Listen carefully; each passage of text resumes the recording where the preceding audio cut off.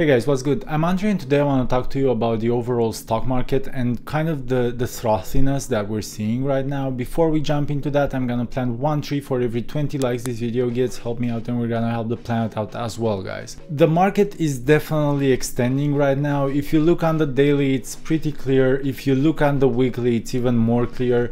The S&P, the Dow Jones, the Nasdaq, you name it, they're all pretty high. The valuations are pretty intense and obviously what do we do in these types of scenarios? Do we short the market? Honestly i would probably not short the market right now guys. It's really unclear where it's gonna go. What i would probably do is just and what i'm actually doing is just looking for stocks that are at all-time high valuations pretty crazy uh, track back for the last couple of weeks like nvidia like ticker symbol net for cloudflare like digitalocean and just try to short those. How exactly do i short them? Well i sell credit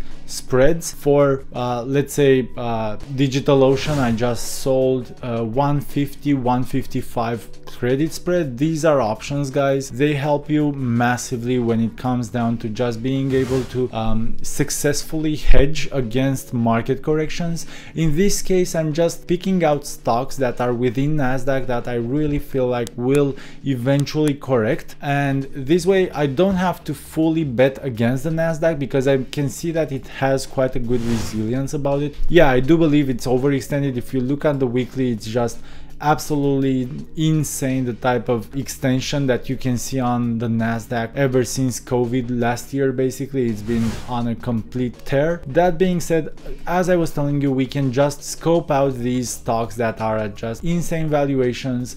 Let's look at for instance Nvidia. Nvidia grew 125% this year guys and if we look at the last six months it grew 110%. Sure that may be sustainable but with roughly 40% in the last month here, I think it will eventually hit a wall. It might not hit the wall that I set for it right now, which is a spread for 335, 340, but it will eventually hit one. So if I even have to roll this one out in expiration and higher up in strike price, I will do that.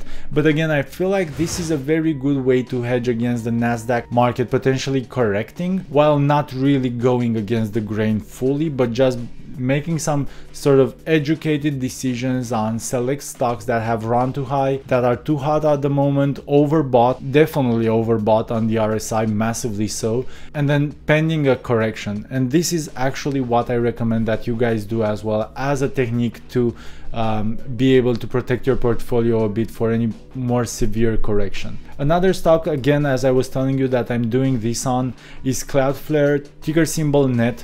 Right now it's trading at $212 a share. And if we look at NET on Seeking Alpha, we can see that it has a growth of 230% this year, guys. That's definitely not anything that can be expected out of a stock. It grew 185% during the last six months and a whooping 23% during the last month here. So again, it's a very similar situation. I think it will eventually hit a wall, maybe not the wall that I set up at 235 240. So unless it hits $235 by December 23 I basically make $130 with uh, a collateral here of $5 for the spread. So basically $500 for anybody that's not used to, to trading options.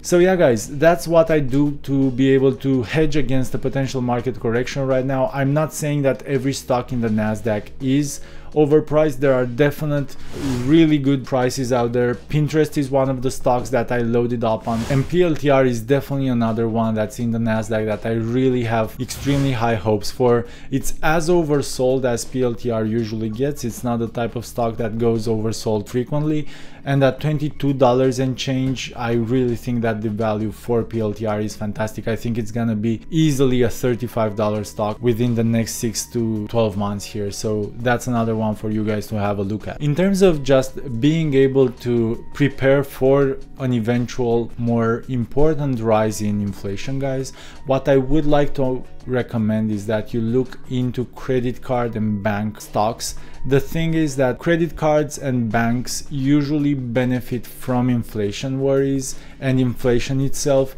because of interest rates hike. So with that in mind guys, uh, Visa is sitting at a pretty great price below the 300 day moving average on the daily chart and right next to the 100 day moving average on the weekly chart which is also a pretty important sign. And then Citibank is also one that I continue averaging into i think that citibank is right now sitting at a pretty fantastic price point. If we have a look at the valuation that tipranks is giving citi we have roughly a $85 price point for a potential upside here. That would mean roughly a 26% upside from where we're at. I think that Citibank is probably one of the greater ones that you can invest in right now. And the very last stock that I want to bring up today guys is the one that I covered in one of my recent shorts Intel, please go back and have a look at my explanation on why the intrinsic value of Intel is far above the current price at which it's trading, actually 50% discounted. So guys, have a look at that video again. Guys, that's all for today. Hopefully this video has been helpful.